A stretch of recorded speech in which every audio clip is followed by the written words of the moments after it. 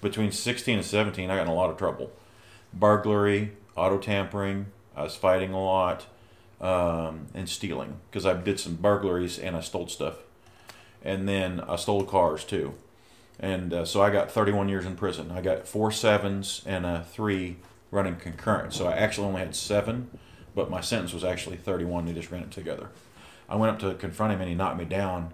And when I got up, I was in a rage and all that anger from two years in prison and the way I was, you know, raised and stuff. Plus, I was super drunk. I just, I just started on him and I didn't stop. And my friends pulled me off, or he would have died.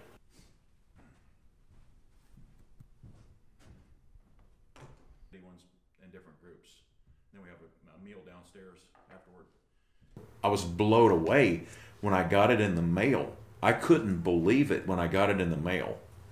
I literally cried and screamed when I got it. It was amazing. It made me feel like I paid for what I did. Like I was actually, after all the years 20 years or 20 some years all the damage I did that I deserved to be punished for, it almost felt like that's the moment when it was fully paid for. Like I fully made it right finally. As if I never did it before.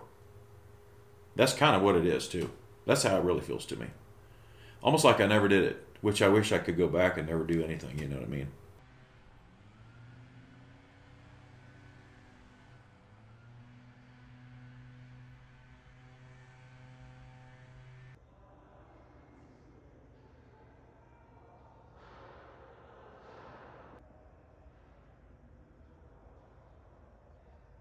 You know, I, I'm still believe in law and order. I, I believe criminals need to be treated as such, you know, and they've got accountability they have to do to the general public. So I, I think that's important to me.